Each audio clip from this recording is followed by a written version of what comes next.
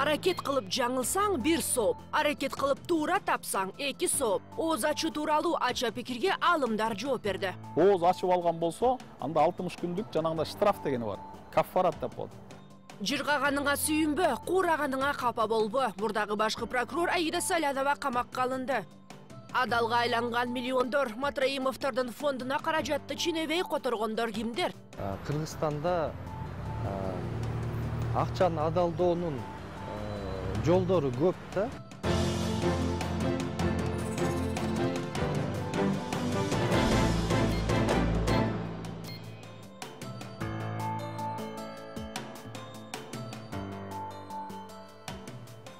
өлкөдө жана дүйнөдө болуп жаткан акыркы окуялар менен эфирде жаңылыктар кечээ маалымат программасы студияда айда исемиева саламатсыздарбы баткенде бир нече күндөн бери нөшөрлөп жааган жамгыр селге айланган. Тилсиз жоо бир нече айыл аймагын жана райондук борбордун бир бөлүгүн каптаган. Жолдорду жууп кеткен суу ташкыны короо жайларды да жөн калтырган эмес. Жергиликтүү фермерлердин айтымында апат айыл чарба иштерине залакасын тийгизген. Өзгөчө кырдаалдар министрлиги билдиргендей учурда кырсыктын кесепеттерин жоюу иштери жүрүп жатат жекшемби күнү суу самырда жоголгон үч жашар баланы издөө иштери уланууда үй бүлө эс алуу үчүн өрөөндөн жолго жергесине бишкектен барганы маалымдалат турмуш басылмасы билдиргендей ата эне баланын сууга түшүп агып кеткенин байкабай калган дарыстени издөөгө аймакты жакшы билген жергиликтүүлөр да кошулган кечээ күнү баланын жакындары ыктыярчылардан жардам катары дрон жана кайык сураган биздин каналдын жамааты дагы наристенин өмүрү коркунучта эмес экендигине жана тезирээк табылып калуусуна тилек ири саясий коррупциялык иштерде тандалма күрөш жүрүп жаткан сыяктуу. Буга крим төбөл азиз батукаевдин өлкөдөн чыгарылышы боюнча иш далил боло алат ден соолугундагы көйгөйлөр жана кичинекей кызы болгонуна карабай иштин алкагында аида салянова камакка алынды. Экс башкы прокурорго кызмат абалынан кыянаттык менен пайдалануу айыбы тагылып жатат. Ошол эле учурда тергөө мурдагы акыйкатчы турсунбек акун жана жаза аткаруу кызматынын мурдагы төрагасы зарылбек рысалиевди көрмөксөн. Бул эки аткаминердин крим төбөлдүн чыгуусуна тиешеси көптөн бери айтылып келет. Жакпаганын темир тор артына калтырып жаккандан калгандарына көрсөтмө бердирип эркиндикке чыгарган тергөө тууралуу кийинки материалда аида салянованын кармалганын маалымат каражаттары түн жарымга жакын билдиришти башта күчтүү коррупцияга каршы мыкты күрөшчү катары белгилүү болгон мурдагы прокурор эми убактылуу кармоочу жайда бул кабар шаардык милициянын жанына топтолгон ата мекенчилерди таң калтырды сооронбай жээнбеков бийликке келгенден бери темир тор аркасына ыргытылган бир дагы социалист болгон эмес өзүнө жолугуп чыктык дарыларын бердик жылуу кийимдерин бердик э, анан өзү жөтөлүп атыптыр эки үч күндөн бери азыр ошо дарыларын берип анан врачтарды чакыртабыз деди батукаевдин кое берилишине байланыштуу кармалган аида саляновага каршы нарын облустук прокурорунун орун басары майрамбек акматалиев көрсөтмө берген. Тергөө менен кызматташууга макул болгон акматалиев мурдагы жетекчисин сатканы айтылууда жөн жерден күнөөнү жаба салды дешет салянованын тарапташтары. Айтымдарында эми акматалиев бошонуп чыгып соттун өкүмүн үй камагында күтөт. Буйрук берген дегендей көрсөтмө берипти азыр ошол. Бир эле көрсөтмө. Ошондо салянова менен тигинин экөөнүн көрсөтмөлөрү бири бирине каршы келет. Аида салянова крим төбөлдү бошотууда мыйзам бузулбаганын далилдегенге акырына чейин аракет кылды. Ошол эле аргументтерди батукаев өлкөдөн чыгып кеткенден кийин парламенттик териштирүүлөрдө айткан болчу мен маселени ийне жибине чейин билем. Башкы прокуратура муктаж болгон баардык чараларды көргөн. Мыйзамсыз иштер чыкпаганына карабай парламенттеги талкууну эске алып судьянын аракеттерине укуктук баа берүү үчүн соттор кеңешине кайрылганбыз. Дисциплинардык орган болсо аны жоопко тарткан жок.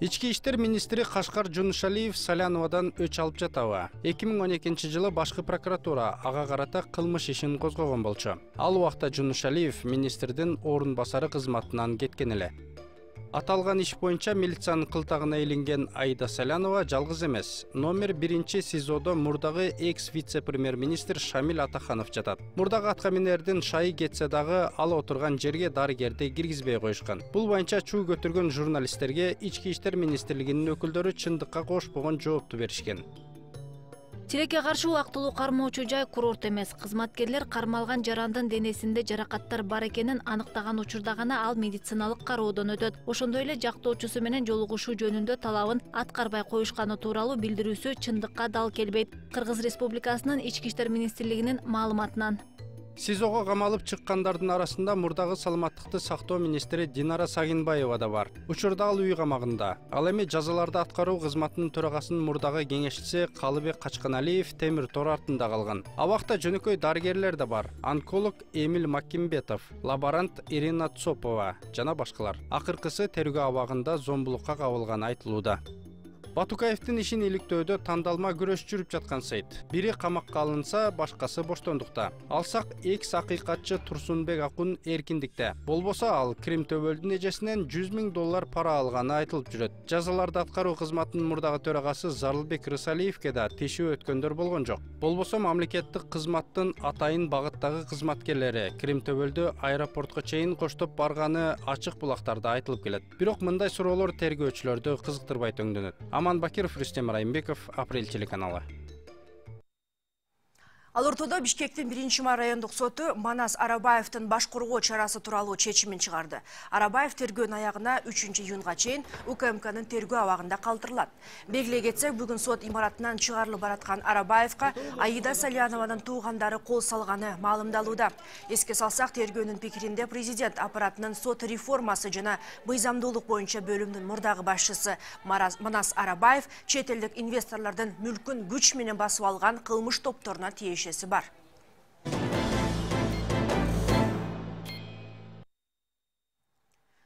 Ислам Матраимов Финполдогу ички иликтөөлөр башкармалыгынын жетекчилигинен кетти. Бул тууралуу 3 июнда анын агасы Искендер Матраимов 5 каналдын эфиринде билдирди. Эл өкүлүнүн айтымында буга кызыкчылыктардын кагылышуусу себеп болгон. Эске салсак, аталган мекеме акыркы 5 айдан бери бажы кызматынын мурдагы төрага орун басары Матраимовдордун дагы бир тууганы Райымбектин мүлкүн текшерип жатат. Ведомство Исламбек Матраимовдун кызматтан кеткенин тастыктап, төрага бул тууралуу буйрукка 22 майда кол койгонун билдирди. Ал ортодо азаттыктын иликтөөсүндө сөз кылынган фактылар боюнча финансылык чалгындоо кызматы да үн катты. Мекеме айтылган акча каражаттары тууралуу өз корутундусун бир канча жыл мурун укук коргоо органдарына өткөрүп бергенин билдирди. Ал эми маалымат эмне себептен этибарга алынбаганын ведомствонун төрагасы Гуламжан Анарбаев тактаган жок. Биз 2014 жылы ички иштер министрлигине андан кийин 2016 жылы экономикалык кылмыштарга каршы кызматына өзүбүздүн бүтүмүбүздү берген экенбиз бүгүнкү күнү биз экономикалык кылмыштарга каршы күрөш жүргүзүү кызматы менен тыгыз ошол жети жүз миллиондун ар бир тыйынына чейин эсептеп кандай мыйзам бузуулар бар ошону изилдеп жатабыз. Ирина Карамушкина Матраимовтардын дагы бир тууганын тапканын айтты. Матраимовдун миллиондорун тыкыр изилдөөгө бел буган Гүламжан Анарбаев Райым миллиондун кудасы экенин президентибиз билеби деп суроо салды эл өкүлү. Финансылык чалгындоо кызматынын жетекчиси Гуламжан Анарбаев Матраимовдордун иши боюнча өкмөт башчыга отчет берип жатат. Бирок ал Матраимовдордун кудасы болот. Бир туугандардын кичүүсү Руслан Матраимов Гуламжандын карындашына үйлөнгөн. Президент Жээнбеков бул тууганчылыкты билеби? Бирок Карамушкинанын калеми суу электе Анарбаевдин жообу да жарык көрдү. Финансылык чалгындоо кызматынын башчысы Матраимовдор менен тууганчылыгы жок экенин айтты. Ал ортодо азаттыктын иликтөөсү Исмаил Матраимов фондуна которулган миллиондордун жүзүн ачканы менен Искендер Матраимов алардын булагын ачыктоодон баш тарткан. Деги Кыргызстанда чет өлкөдөн кайрымдуулукка миллиондоп доллар топтогон фонд барбы? Каражатты жылдар бою кашыктап чогулткан бейөкмөт фонддор үчүн бул жомоктой угулса керек. Эксперттердин баамында кеп кадимки эле акча адалдоо тууралуу болушу мүмкүн. Кабарчыбыз Аман Бакиров кайрымдуулук кандай болушу керек деген суроого жооп издеди. Эркин Сайматовтун тааныйсызбы тааныбайсызбы? Эркин Сайматовн. Жок тааныбайм. Аялын тааныйсызбы тааныбайсызбы? Жок тааныбайм. Жок. Бирок сиз алардан акча алып жүрбөйсүзбү? Жок. Документ алуу келип атпайбы? Жок. Бул руслан матраимов чуулганду миллион деген кайманаты менен белгилүү райым матраимовдун бир тууган иниси атасынын наамы берилген коомдук кайрымдуулук фондду жетектейт. Ага азаттыктын журналисти принципиалдуу суроолорун жаадырганына карабай алардын баардыгын руслан матраимов четке какты эгер али токтокунов мисалга кыргызстандын президенти сооронбай жээнбековпу деп сураса ага руслан жок деп жооп берчүдөй сезим калтырды. Башым өтпөс жалган руслан матраимов тааныбайм деген адамдар ал жетектеген фондко бир нече миллион доллар которгонун азаттыктын кабарчылары документтер аркылуу аныкташкан. Кече бешинчи каналдын ой бүгүн берүүсү аркылуу да али токтокунов суроолорун райым матраимовдун депутат агасы искендерге узатып так жооп ала албай койду. Алар силерге эмнеге миллиондорду которуш керек? Сиз өмүр бою кыргызстанда иштесеңиз иниңиз да иштесе баардыгыңар кыргызстанда жүрсөңөр кандайча чет өлкөлүктөр менен доссуңар эң кызыгы исмайыл матраимов атындагы фондко миллиондогон долларларды кайсы беришен адамдар которгону ачык айтылган жок искендер матраимов иниси сыяктуу баардыгын четке какмай ыкмасын колдонду болбосо кайрымдуулук менен алектенген фонд. Кимдир бирөөгө жардам берген акчалардын кожоюнун коомго ачык айтууга кызыктар болушу кадыресе көрүнүш сиз өзүңүздүн спонсоруңузду атаңыз анда калыстык болбой калат ким ошол кишилер ким силерге акча которот мен айтайын инем мындай эл күтүп атат сизди мен дагы айтайын ошо сайматиге Мен жумшаган киши дедиңиз Жок, ошо ошол мындай кишинин да. атын айтыңыз анда мен мен сага ушулардын атын окуп мен муну которгон адамдардын гана окуп аты бар бериңиз да мына которгон адамдар эле бар да булчу бул эми жок жок жок сиз билесиз да досуңуз Але, болсо Сизге дагы инем, каржылап аткан кишини билесиз эми мен дагы ошол айтам кишилердин аттарын укуңуз инем мен дагы бир нерсени айтайын эми бул өзү сен бүгүн мен баягы башында айткандай бир заказ менен келгенсиң да инем серепчилердин пикиринде чет мамлекеттерден акча которууларга кыргызстандын мыйзамдары тыюу салбайт өлкөдөгү көмүскө экономиканын деңгээли өтө жогору болгондуктан колу таза эмес адамдар кайрымдуулук фонддорун акчаларды адалдоо куралы катары колдонбойт дегенге кепилдик жок. Акчаны адалдоонун э, жолдору көп да. Кыргызстанда анткени себеби бизде акчаны өтө деле көп текшербейт. Бирок э, баягы ири суммадагы акчаларды мисалы банк аркылуу киргизиш үчүн албетте а, мындай ыкмалар колдонулат да. Маселен бир эле маселеде турат да ошол келип аткан акча адал акчабы же мындай э, кылмыш менен байланышкан акчабы ошол э, ошол маанилүү да. Мындай шектүү финансылык операциялардын биринин изине укук коргоо органдарынын мурдагы өкүлдөрү түшүшкөн собирали информацию в отношении одной неправительственной организации. биз бейөкмөт уюмдардын бирине миллиондогон доллар которулганын өздүк маалымат булактары аркылуу тактадык. Анын ишине иликтөө жүргүзгөнүбүздө мынчалык чоң акчанын изин тапкан жокпуз. Салык жана башка төлөмдөр документтерде нөл деп көрсөтүлгөн. Мындан улам шектүү акчанын кандай жол менен кантип мамлекетке киргизилгенин таппай койдук.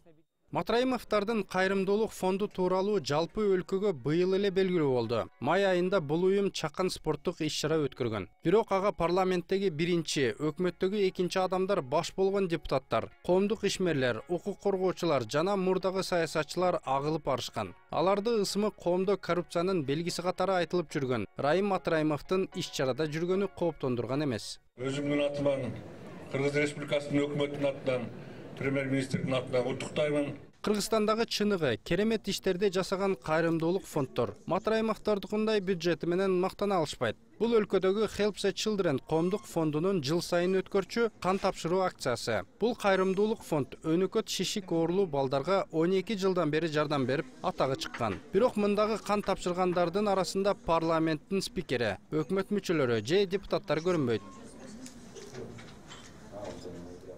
Help the childrenге которулган акчалардын ар бир тыйынына чейин отчет беребиз дейт фонддун жетекчилиги алардын максаты коомдон акча булактарын жашыруу эмес тескерисинче ачык айтып башкаларга өрнөк болуу эгер матраимовдорго которулгандай миллиондогон долларлар өнөкөт шишик оорулууларга берилгенде help the children'дин өкүлдөрү анык максаттарына жетээр эле Ну, вы знаете, я, я кричу, когда мне помогают. Билесиңерби мен бизге жардам бергендер тууралуу ачык айткым келет. Мен дайыма ар бир каражатты тыйынына чейин көрсөтөм. Анткени акча топтоо биздин ишибиз. Бул кайрымдуу адамдар алардын бизге болгон ишеничи албетте мен алар жөнүндө баардыгын айткым келет. Бирок жашыруун калгысы келген кайрымдуулар бар. Мисалы бизге миллион сом берген адамдын атын айтпасак да анын канча акча бергени тууралуу кеңири отчет бергенбиз юстиция министрлигинин маалыматына караганда өлкөбүздө жети миңге жакын коомдук фонддор иш алып барат. Алардын көбү кайрымдуулук менен алектенишет. Бирок канчасы кандай жол менен өндүрүлгөн акчаларга ишмердүүлүгүн жүргүзүп жатат айтуу кыйын.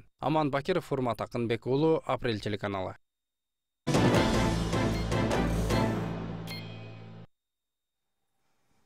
Лицензиялык талапты аткарбаган ондон ашык телеканал айыпка жыгылышы ыктымал бул тууралуу ата мекендик каналдардын жана бул жааттагы мамлекеттик мекемелердин бүгүнкү жыйналышында белгилүү болду маданият министрлигинин профилдик комитетинин өкүлү билдиргендей айрым телеканалдар теле берүүлөр тууралуу мыйзамдын талаптарын аткарабыз деп сөз бергени менен аны ушул күнгө чейин бузуп келет азырынча алардын көрсөтүүлөрүн мониторингке ала турчу автоматташтырылган борбор да эки миң он жетинчи жылы кабыл алынган мыйзамга ылайык канал каналдан көрсөтүлгөн контенттин жарымы мамлекеттик тилде болуп жергиликтүү продукция элүү пайыздан кем болбошу керек.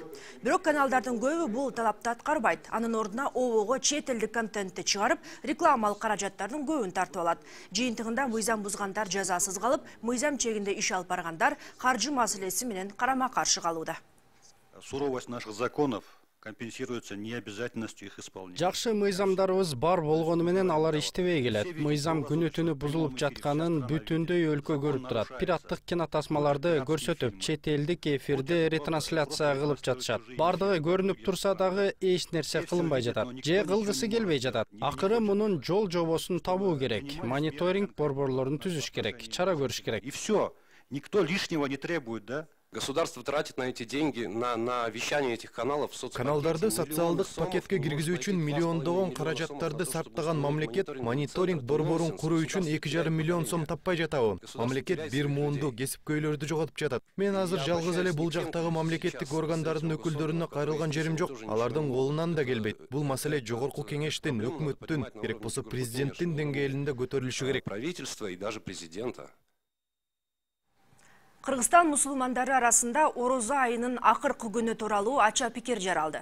Кечээ күнү 3 июнда мекендештерибиздин мессенджерлерине Сауд Аравиясында ай көрүнүп, андыктан ороза айт бүгүн 4 июнда белгиленери тууралуу маалымат тараган. Ага утур эле Кыргызстан мусулмандар дин башкармалыгынын муфтийи Максатбек Ажы Токтомушев ороза айт 5 июнда окулат деп кесе айткан. Айта кетсек, бул көйгөй мурунда болуп келген. Мусулмандарды түйшөлткөн маселенин күнгөй тескейин кесиптешим Айнура Исмаилова айтып берет. Айбинанын арапада бышырган боорсогунун курамы да өзгөчө. Камырын шекер, май кошуп бапестеп жуурган. Эртең айттап келчү конокторго жагат деген ниетте. Келиңиздер. Борсок бышты даяр болду стол. Куран окуңуздар.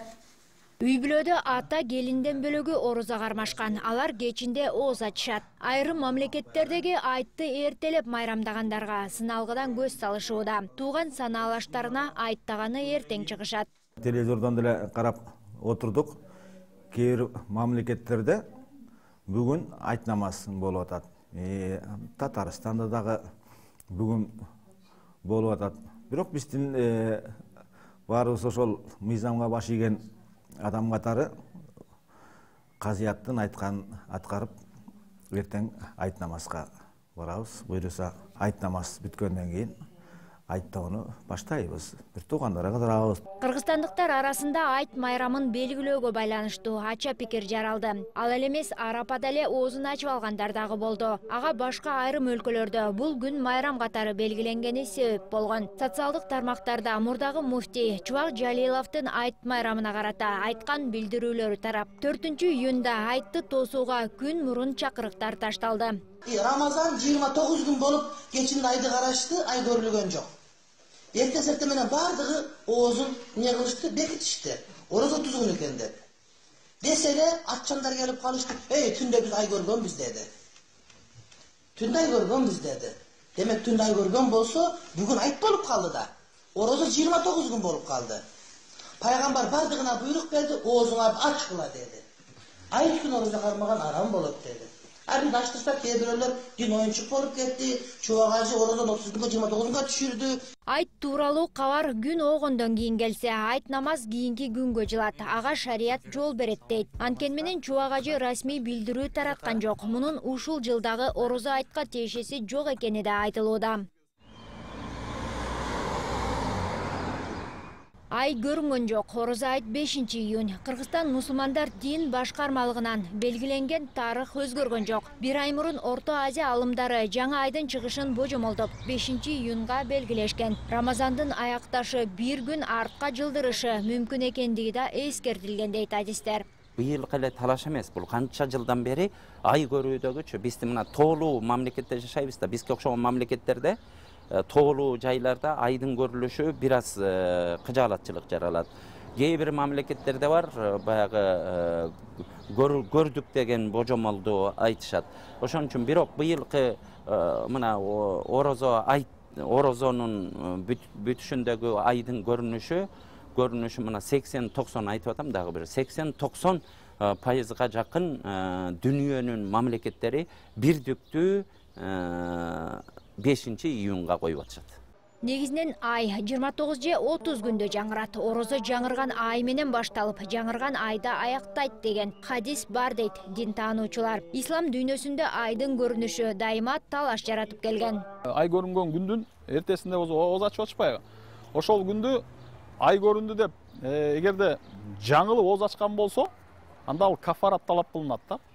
Мындайча айтканда ал чынында шаввал айы эмес рамазан айынын эң акыркы күнү болсо ал күнү сөзсүз орозо кармаш керек эле а алар болсо мисалы ооз ачып алган болсо анда алтымыш күндүк жанагындай штраф дегени бар каффарат деп коет бир күн аралык бербестен эгер аралык бере турган болсо кайрадан баштап алтымыш күн орозо кармаш керек бул ал милдети да эми бир күн эрте ооз ачып алгандарга алтымыш күн орозо кармасын деген чечим. Аалымдар кеңеши тарабынан жаңырса эки ай орозо тутууга милдет алышмакчы. Исламда бир өлкөнүн же бир чөлкөмдүн өзүнүн айы болбойт. Бүткүл дүйнөдө айт майрамы бир күндө белгиленгени туура деген пикирде. Кандай талаш болбосун кыргызстан мусулмандары эртең таңкы жети жарымда айт намазга чогулушмакчы. Ал эми курманайт августтун башына туура келери айтылууда. Айнура исмаилова манас бакешов. Апрель телеканалы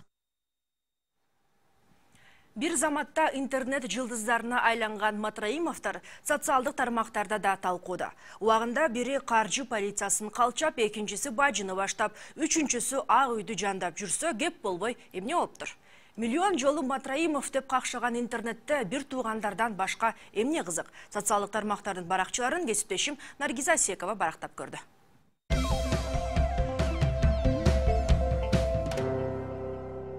матраимовдордун миллиондогон долларларын тиешелүү органдар санап бүтө албай жатышабы. Айтор алардын териштирүүлөрү узакка созулуп ишке кабарчылар аралашып саналуу күндүн ичинде алардын сансыз байлыгын ачыктап коюшту.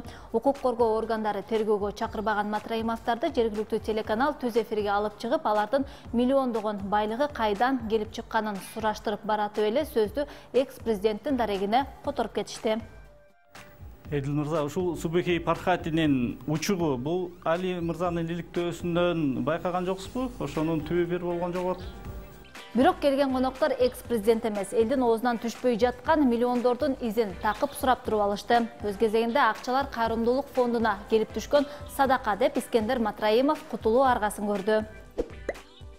Нурлан алимай мати деп фонд ачам буюрса ошого акча которушуңар керек эми кызмат менен бизнести аралаштырбаш керек. Ийгиликтүү ишкер эч качан мыкты мамлекеттик кызматкер боло албайт. Анткени анын жалгыз максаты чөнтөк эл эмес деп айткан экен черчилль. Албетте эл алдында алгачкы жолу отчет берип жаткан адам алдын ала даярданып келет. Матраимовдогу куру кол келбептер сөздүн нугун элдин көңүлүн бурайын деди айтор каржы полициясында иштеп жаткан иниси исламбек матраимов кызматынан кетип жатканын жар салды айтымында өз каалоосу менен үй бүлөлүк кеңеште чечишиптирби кызматтан кетердин алдында элдин миллиондорун кайтарып бергиле.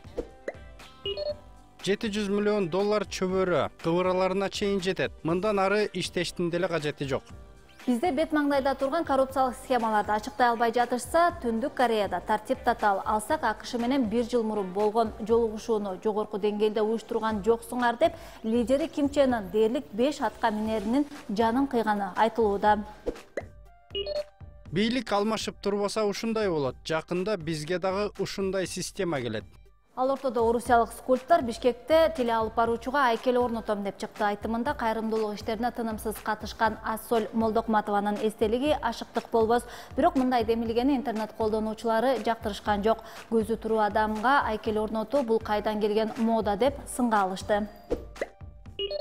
Андан көрө улуу ата мекендик согушта ондогон балдарды асырап, чоңойткон апаларга эстелик орнотуш керек. Айкелге мына ошолор татыктуу. Атың чыкпаса жер өрттө Instagram баракчасында катталуучулардын санын көбөйтүүнүн аргасынан таппаган модель жарым жылаңач болуп калың журттун алдына чыкты. Америкалык кыз футбол боюнча өтүп жаткан Чемпиондор лигасын тантап, таймаш кызуу жүрүп жатканда аянчанын ортосуна чейин чуркап барганга үлгүргөн. Бир түндүн ичинде анын баракчасына дээрлик 2 миллиондон ашуун адам катталган.